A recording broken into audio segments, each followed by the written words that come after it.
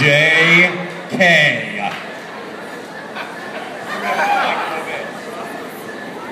Large. The largest building in the world, the Burj Khalifa in Dubai, stands over a half mile high. The largest person stands eight feet, three inches tall. That's pretty tall.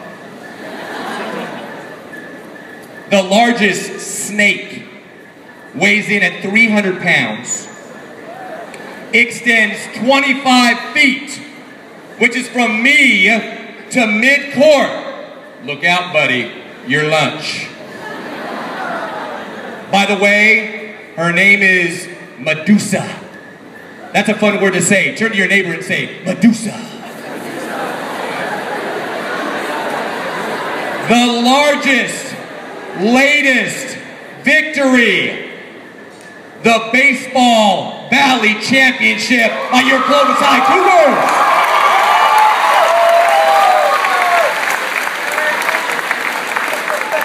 And the largest, most in chargest graduating class sits before us from Clovis High School, the graduating class of 2014.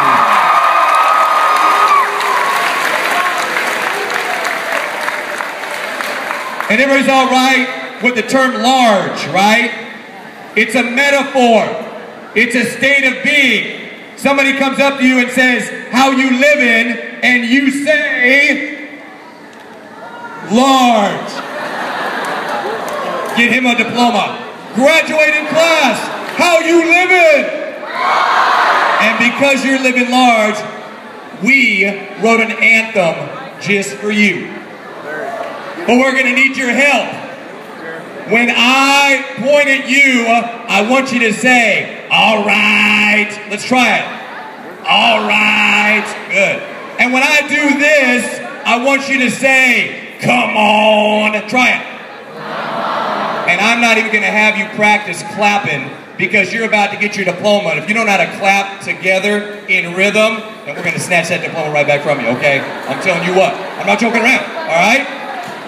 And all I need, all I need is one volunteer who's got a voice, honey in his or her voice. Y you, you, no, not you, you. Ladies and gentlemen, let's bring him to the stage, Mr. Wood.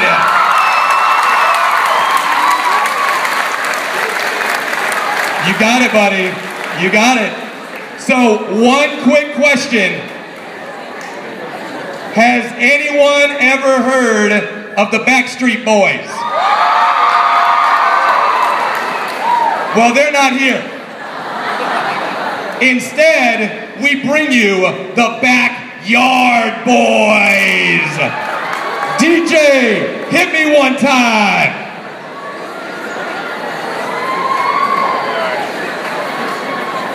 Like Just it. once. Or twice. Three times a lady. And I love her. Telling you once. Are you excited to graduate? Are you sure? It's okay to get excited. You excited to graduate? All right. So what is it? I point at you and you say, all right. And then I do this and you say, come on and you're thinking, how can he keep this up while we're waiting for technological difficulties to be solved? We can talk all day if we want. Did you know that the largest hamburger weighed 123 pounds? That's more than her. Yeah. Costs over 300 bucks. Almost there. Almost there. I'm telling you, 300 bucks. So if you're going to college, you got to take out a loan for that kind of stuff, man. No tomatoes on that, right? This is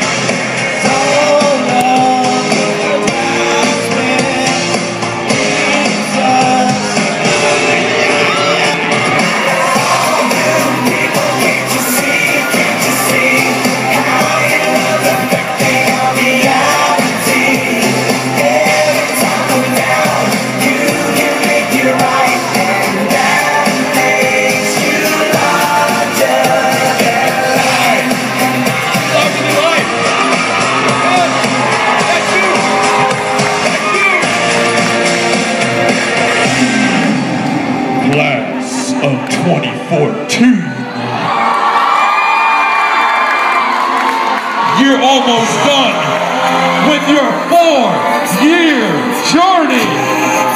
But you didn't do it alone.